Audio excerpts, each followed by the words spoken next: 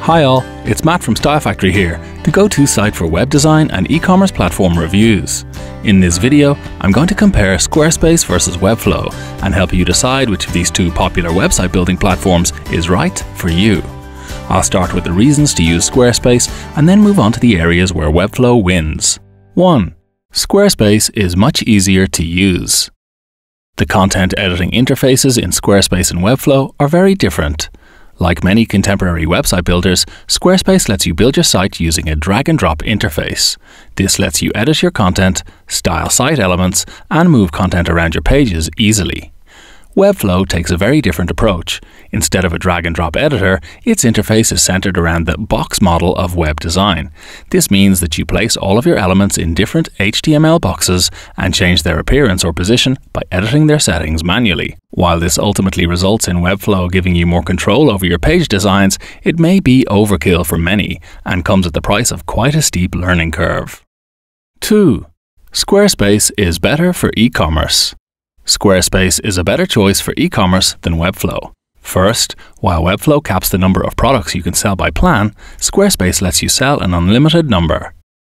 Second, it's much easier to sell digital products with Squarespace than Webflow, thanks to dedicated tools for selling downloads, online courses, and access to gated areas of your websites.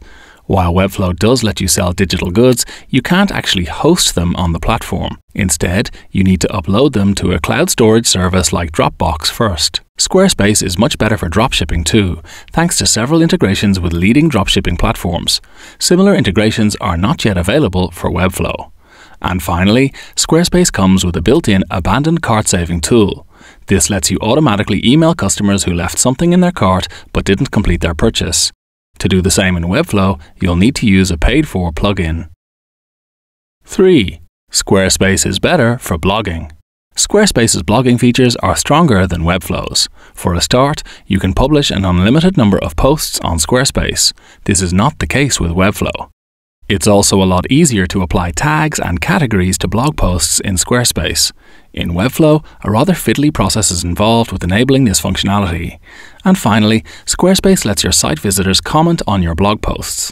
This functionality is strangely missing from Webflow. If you want to facilitate it, you'll need to make use of a third-party tool like Disqus. 4. Squarespace gives you a built-in email marketing tool. Squarespace isn't just a website builder, it can also be used as an email marketing tool. This involves paying extra to unlock its Squarespace email campaigns service, but doing so lets you create and send newsletters easily within the Squarespace interface. This tool gives you access to a wide range of editable email templates and the option to drop products or content from your Squarespace site straight into your newsletters. There's nothing similar available from Webflow. You'll always have to rely on third-party services for email marketing. 5. Squarespace gives you more user accounts. If you need multi-user access to your site's content management system, Squarespace is a better choice. This is because on most of its plans, it gives you an unlimited number of user accounts. By contrast, Webflow limits you to just 3 and 10 users on its CMS and business plans, respectively. 6. Squarespace lets you create bigger websites.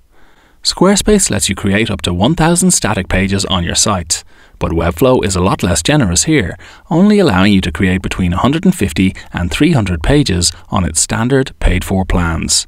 And unlike Webflow, Squarespace gives you unlimited file storage and bandwidth on all plans. This means that if you are expecting a particularly high number of visitors or need to make very large files available to them, Squarespace can be the better choice. Okay, so those are the key reasons to use Squarespace over Webflow. But where does Webflow win? I'll come to that in just a moment, but first I'd like to say that if you're interested in using Squarespace, make sure you check out the video description, where you can access a special free trial of the platform and a discount of 10% off your subscription. You might also like to try out our Store Builder Finder tool. This asks you a few questions about your e-commerce requirements and makes a personalized recommendation regarding which platform is right for you. This is available on the Style Factory site. Google Style Factory Store Builder Finder to access it, or check out the link in the video description. Now, let's look at the reasons to use Webflow over Squarespace. 1.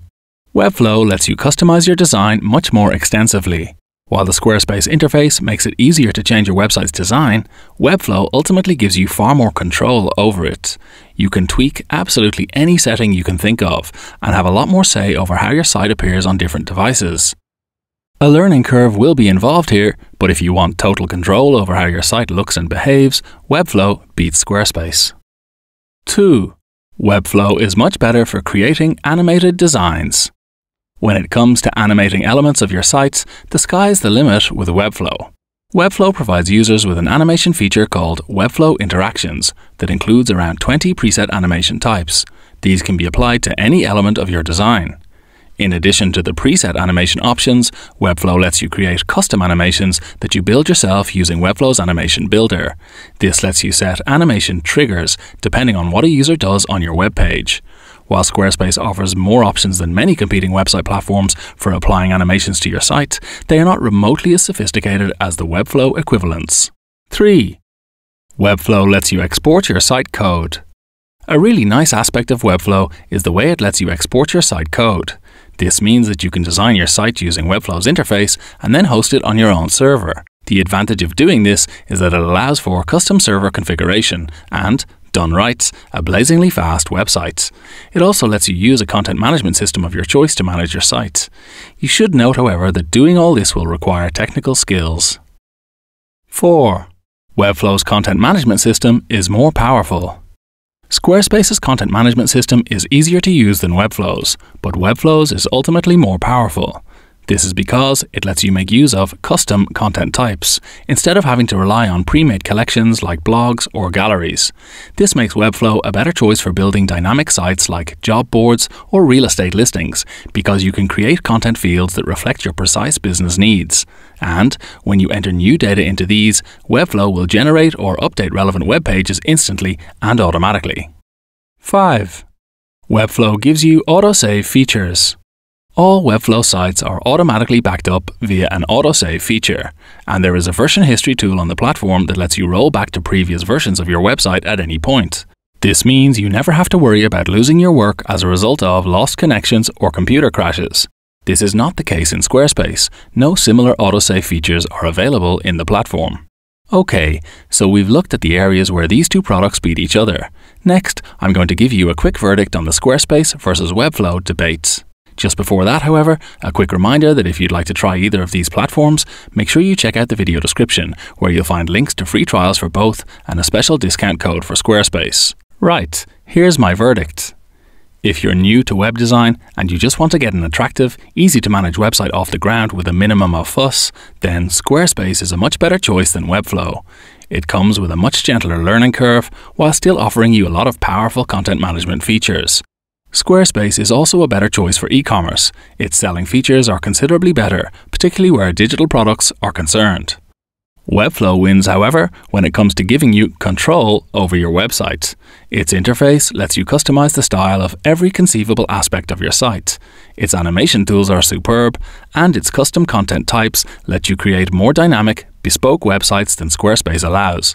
You will need technical skills to get the most out of the platform, however. I hope you've enjoyed this Squarespace versus Webflow comparison, but there's lots more pros and cons of both platforms to discover. You'll find all these in our blog post comparing the two platforms. To read this, just Google Style Factory Squarespace versus Webflow.